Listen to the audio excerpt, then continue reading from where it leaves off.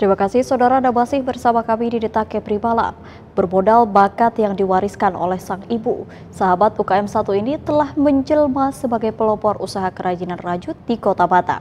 Dengan menggunakan brand Kirumi Craft, sejumlah prestasi telah ia kantongi, bahkan telah terdaftar di Direktorat Jenderal Kekayaan Intelektual, Kementerian Hukum dan Hak Asasi Manusia. Sang pelopor seni rajut Kepri, inilah laporan Ferdino untuk sahabat UKM.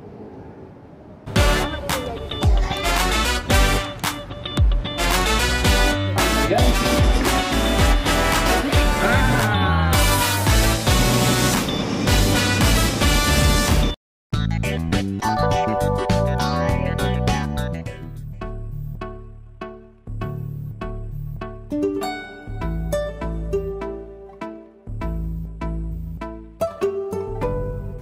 Craft merupakan salah satu brand handicraft di kota Batam yang konsen pada usaha kerajinan rajut. Kirumi Craft merupakan usaha ekonomi kreatif yang dirintis oleh Silawati. Untuk menghindari hal-hal yang tidak diinginkan, Silawati telah mendaftarkan brand Kirumi Craft di Direktorat Jenderal Kekayaan Intelektual, Kementerian Hukum dan Hak Asasi Manusia. Silawati Wanita kelahiran Medan ini menjelaskan bahwa merajut merupakan warisan dari orang tuanya sewaktu ia masih kecil. Bahkan sebelum wafat, Ibu Silawati menitipkan satu taplak meja untuk ia selesaikan. Dari beberapa saudara kandung, tidak ada satupun yang mewarisi bakat merajut sang ibu kecuali dirinya. Berbekal taplak meja yang ia selesaikan, Sila kemudian iseng membuat kerajinan rajut sepulang bekerja. Namun lama-kelamaan ia semakin candu membuat rajutan, apalagi beberapa hasil karyanya memiliki nilai ekonomi yang cukup tinggi di kalangan masyarakat Batam dan turis asing. Usaha saya ini kalau untuk legalitasnya dimulai di sejak tahun 2019. Tapi saya mulai aktif rajut dari tahun 2016 dan 2017 saya aktif di komunitas dan selanjutnya uh, legalitas itu keluar di tahun 2019 sampai hari. Ya awalnya sih karena hobi dan kebetulan almarhum ibu saya kan juga bisa merajut. Jadi pada saat itu saya tuh gimana ya almarhum saya apa namanya ibu saya meninggal itu meninggalkan sesuatu untuk saya. Ada suatu apa namanya uh, yang belum terselesaikan. Jadi di situ saya cuma saya yang bisa jadi saya melanjutkan itu dan akhirnya saya ikut komunitas jadinya langsung berlanjut seperti air saja seperti itu. Almarhum ibu saya itu meninggalkan taplak meja. Jadi kan ibu saya itu kan meninggalnya kan di Medan saya sementara di Batam. Jadi pada waktu itu kakak saya bilang gini itu Wat, ada yang belum terselesaikan punya ibu. Jadi saya langsung selesaikan dan saya bawa ke Batam. Jadi dari, dari situ saya mulai ya sambilan kan karena pada waktu saya juga masih kerja di perusahaan. Jadi awalnya sih iseng jadi berkelanjutan jadi hobi dan apalagi masuk komunitas jadi seolah-olah hobinya itu semakin bermanfaat sadar dengan hasil yang ia terima lumayan besar Ibu dari tiga anak ini akhirnya mulai fokus menekuni rajut pada tahun 2017. Tidak cukup sampai di situ, pada tahun 2019, Silawati mematenkan merek Kirumi Craft pada tahun 2019. Beberapa kerajinan rajutan yang dibuat oleh Kirumi Craft di antaranya tas, sepatu, topi, dompet, kardigan, shawl, dan berbagai aksesoris lain.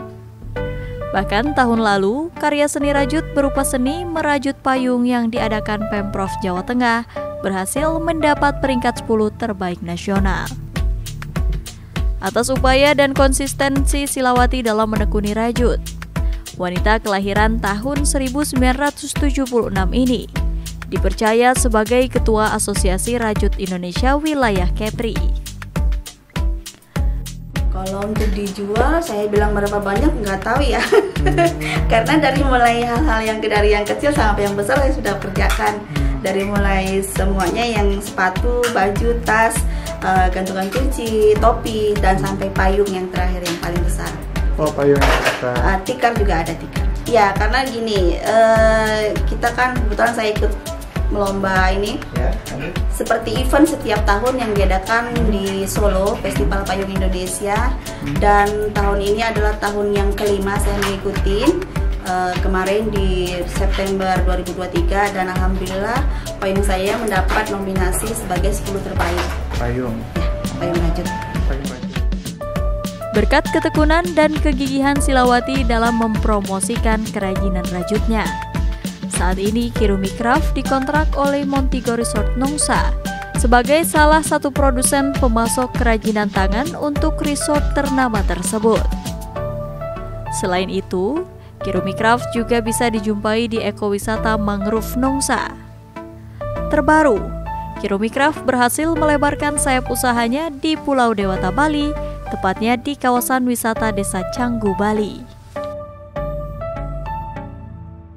Kalau saat ini dari 2000 2022 ya, Kirimi udah masuk di uh, Canggu Center Bali. Bali. Bali dan kemudian April 2023 sampai hari ini kita udah dikontrak oleh Montigo Resort. Resort. Dan kemarin dari mulai Agustus saya sudah masuk di ekowisata mangrove. Ekowisata mangrove di di Nongsa. Di Nongsa. Dan situ saya ada punya kios satu khusus untuk uh, rajutan. Hambatan terberat yang dialami oleh Silawati selaku pelaku UMKM di Kota Batam adalah pemberlakuan pajak terhadap barang yang akan dikirim ke luar daerah. Menurut Silawati, hal inilah yang membuat pelaku ekraf Batam sulit bersaing dengan pelaku ekraf dari daerah luar Batam. Silawati berharap agar pemerintah lebih peduli dengan pelaku UMKM yang sudah membantu pemerintah mengurangi angka pengangguran dan penyumbang terbesar dalam produk domestik bruto. Kalau untuk saat ini kesulitan ya karena semua saat ini saya handle sendiri dari mulai produksi sampai sosial media. Jadi sementara ini ya saya harus pinter-pinter bagi waktu. Yang penting customer tidak mengecewakan. Service ke customer ini yang penting.